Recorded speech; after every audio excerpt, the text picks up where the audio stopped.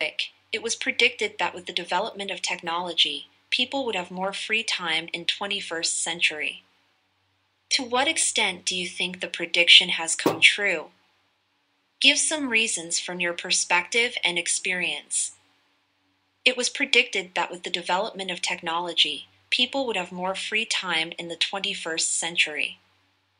However, I believe this prediction has not come true as advancements in technology have led to a more connected and demanding lifestyle, reducing the amount of leisure time available.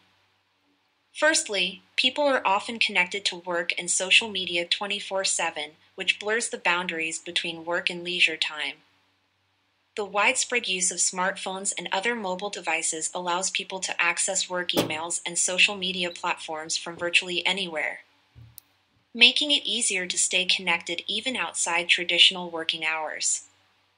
For instance, it is common for individuals to take work calls or work on projects during their personal time, such as on vacation or while spending time with family and friends.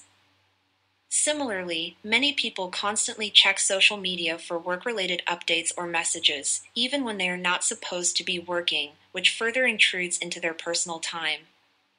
Secondly, in some industries and professions, the 21st century has seen an increase in work demands, leading to longer working hours and higher stress levels.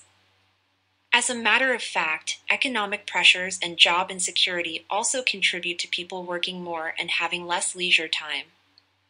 For example, healthcare workers have experienced a significant increase in work demands due to factors such as an aging population, rising healthcare costs, and the increasing complexity of medical procedures.